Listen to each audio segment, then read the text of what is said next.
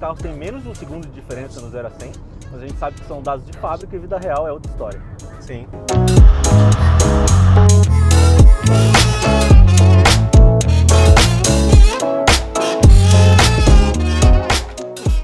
Salve acelerados, sejam muito bem-vindos a mais um arrancadão. Hoje com SUVs turbinados, Fiat Fastback 1.3 turbo contra Honda HR-V 1.5 turbo. Para me ajudar nessa missão, Hector Vieira, meu irmão. Hector, a gente fala, é, sempre, a gente sempre fala para o público né, que existem várias maneiras de comparar os carros dentro do Acelerados. Uma delas é segmento, então sedã contra sedã. Outra é preço, ou seja, um cara que tem 150 mil reais está na dúvida entre um sedã e um SUV. E desempenho, né?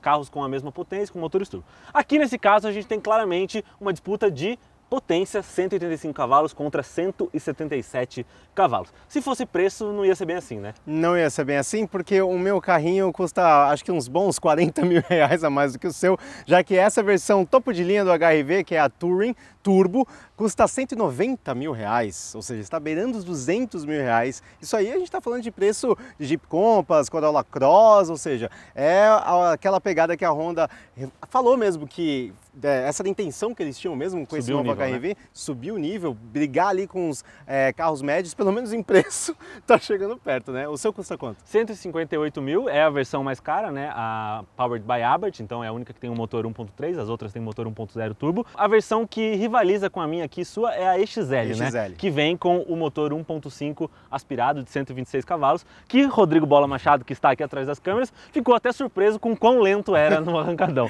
Põe aí na, na tela, não sei se deu pra perceber a reação dele. Nossa, mas parece que eu tava com o freio de mão puxado.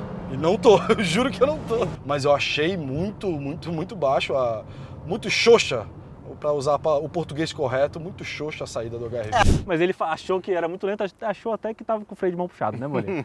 achou que estava com o freio de mão puxado, mas não, era realmente a falta de torque. Hoje vamos ter um embate muito mais justo, então é isso. Chega Vamos... de papinho Chega e de papo. pra... Vamos ver. Ó, e vai ser interessante, porque como esse aqui é mais potente, né? Mas esse aqui, assim, em termos de peso, acho que o seu é mais leve também do que o meu. Então, assim, eu acho, eu apostaria no Fastback, mas o desempenho desse carro aqui também pode surpreender. Vamos ver. Câmbio CVT em arrancada já se provou uma maravilha, então deixa o seu like, se inscreva no Acelerado se não é inscrito e vem com a gente acompanhar mais um arrancador.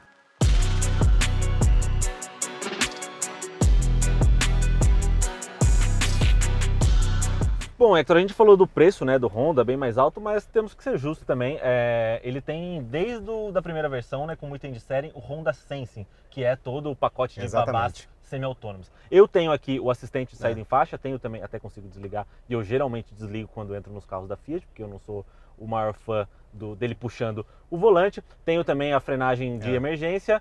É, e o que você tem aí no seu, na sua lista de equipamentos? É, então, na verdade, eu acho que o grande trunfo é esse mesmo que você falou, porque é o piloto automático com stop and go, né? Então isso na, na cidade vai muito bem a calhar, porque você pode ligar, por exemplo, no trânsito, que daí ele vai parar o carro completamente, pode retomar a velocidade que você programou à medida que o carro da frente avança. Eu acho que nessa questão das assistências eletrônicas é o grande trunfo mesmo dele, fora seis airbags, é, ar-condicionado de duas zonas aqui com é, digital e automático. Agora, a central multimídia que você citou aí, é, Honda e Toyota Toyota tem um problema com o central multimídia, eles nunca conseguem acertar, né? Além de ser tipo uma televisãozinha aqui, tipo aquela crítica que a gente fazia lá no Corolla Cross, aqui também é a mesma coisa, parece uma televisãozinha de tubo aqui, esse acabamento não sou muito fã. E a interface dela é um pouquinho antiquada, né? Mas pelo menos tem Android Auto e Apple CarPlay, ou seja, você vai usar o seu celular mesmo no final das contas. Dito isso, bora lá? Só corrigindo uma informação que eu falei é, lá no começo do peso, você tem, tem 5 menos, de né? vantagem, porque é, 5 quilos a menos, né? Ou seja, é uma vantagem, porque são 1.300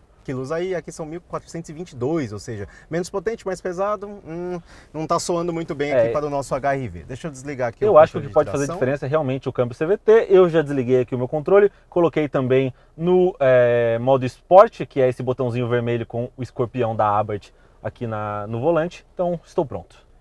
É isso também. Controle desligado, modo Sport, ar-condicionado desligado, vamos lá. Aí saímos juntinho. Ah, não, mas logo Nossa, de cara já. Seu pulo é muito melhor. Caramba!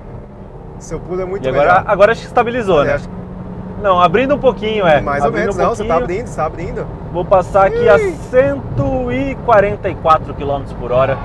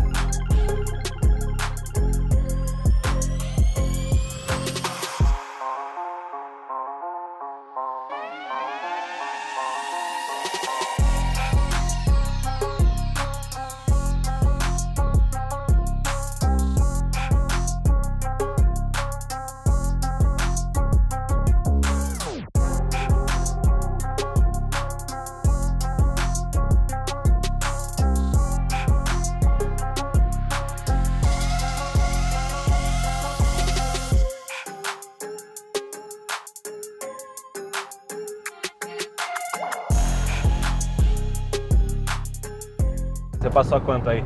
Ah, foi mais ou menos essa mesma velocidade também, 142, 43, por aí. É, mas eu demorei mais tempo para chegar nessa velocidade.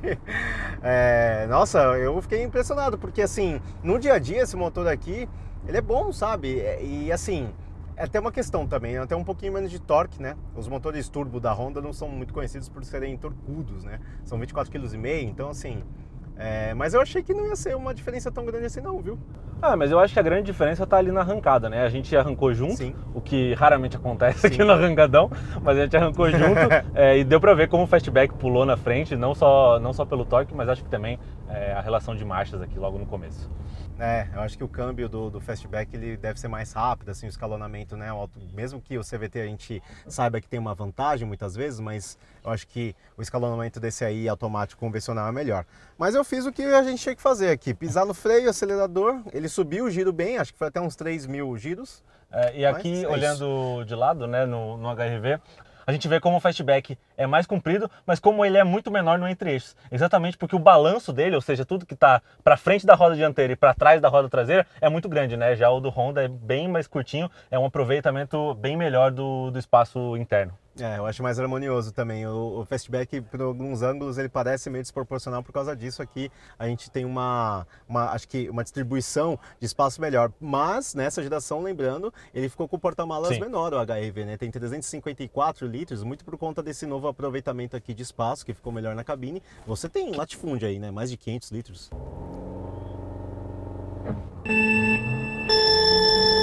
É, a mesma, o mesmo um cenário. Mais, ó, ele abre a, e aí é, acho que a hora que chega ali mais ou menos num 130 km por hora, é, fica parelho e aí ninguém, ninguém abre ninguém tira. É, exatamente. Ó, cheguei a 145, que velocidade você tá? 164. Eita! É. Eu acho que agora estabilizou a distância, acho que agora você não abre mais. Cara, mas passei a 186 km por hora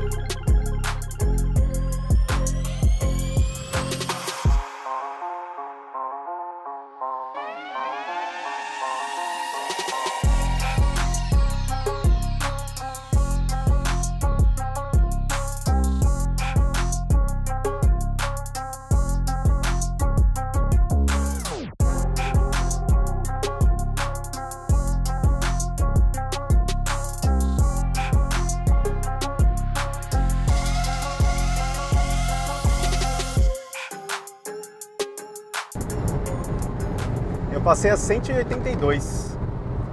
É, chegou uma hora que você não abria mais, mas de fato, esses primeiros metros, assim, acho que vai dar uma diferença. Não sei se vai chegar a um segundo, assim, de é, distância, é... não sei, mas. É, é onde abre a vantagem, né? Na ficha técnica, esses carros têm menos de um segundo de diferença no 0 a 100, mas a gente sabe que são dados de fábrica e vida real é outra história. Sim, sim. Agora, o que a gente está fazendo é consumir combustível, porque olha o fastback bebe. Não, o meu... a gente ficou com esse carro nas, durante a semana e aí, olha, cheguei a impressionar o quanto, qual é o apetite, o apetite que ele tem para beber, viu? Eu zerei o odômetro aqui um pouco antes da gente começar a pauta, ele está com 7 km fazendo 2.9 de consumo médio. Aqui tá é, Obviamente, só porque deu duas, três puxadas, então é, vai, vai subir. Já tá com três aqui, mas é engraçado de ver é. logo no começo quanto, como fica esse número. Sim, é, não, no dia a dia dá pra perceber que o fastback é mais beberrão. Eu acho que, embora eles tenham números muito parecidos, e o HRV até acho que perde no número de rodovia, é, a comparação, se não me engano, com o etanol em relação ao fastback, mas assim, é, no uso diário eu acho que o HRV tem uma certa vantagem, porque porque ele tem um modo econômico, né? Dá para você dirigir ele com, com mais parcimônia. Ao passo que o Fastback, eu acho que, até por causa desse desempenho que a gente viu aqui, eu acho que ele é mais difícil de você dirigir de maneira mais econômica, né? Então bora pro nosso desafio de retomada, 60 a 120. Bora. Já joguei pro meu modo manual aqui, puxei... É, tem o borboletinhas atrás do volante aqui. Puxei uma segunda marcha, eu vou deixar aqui no automático, porque como o meu câmbio é CVT, não faz diferença. A gente vai de 60, né? Peraí. Um, dois, três e já! Eita! Ó, ah, mas saiu um pouquinho é, melhor do Rolling mas foi Start. mais ou menos a mesma distância que a gente viu na, na largada parada, a gente viu abrir a mesma coisa no, no Rolling Start. É isso. Olha, é, ele é não troca de marcha. Ah, não, trocou. Eu tava vendo se, se é como uma BMW M, por exemplo, que se você não puxar a marcha, ele continua mantendo. Mas não, segurei até a quarta marcha, até 6 mil giros ali, e aí ele falou, se esse cara não vai trocar, eu vou trocar sozinho. É, de BMW, Marcelo, a única coisa que seu carro tem é a aparência. Mais ou menos ainda, né? Mais ou menos. Mais ou menos. Não, mais ou menos. Mais ou menos. Só tô é, alimentando meme. Mas esse aqui é engraçado que ele fica fingindo que troca marcha, né? Obviamente ele simula as marchas, então a gente é, tem essa, aquela sensação de estar trocando alguma coisa, mas é tudo uma mentira do câmbio CVT. Então é isso, acho que nas três passagens vimos o mesmo comportamento, então não restam dúvidas de que Fiat Fatback 1.3 Turbo é mais é, rápido que o Honda HRV. E agora a gente precisa fazer também um comparativo é, no Aras Tuiuti, né? Talvez aí comparando o preço e ver o que vale mais a pena, se é o Honda HRV XL ou este Fiat Fastback aqui. É isso, né? É isso aí, é isso aí, então, faremos isso. Deixa, deixa aí o seu like antes de sair desse vídeo, deixa os comentários também falando o que você achou desse peguinha aqui de HRV Fastback e se inscreve no canal da Acelerados, porque praticamente todo dia tem vídeo de carro e moto aqui para você curtir. É isso, valeu e até mais.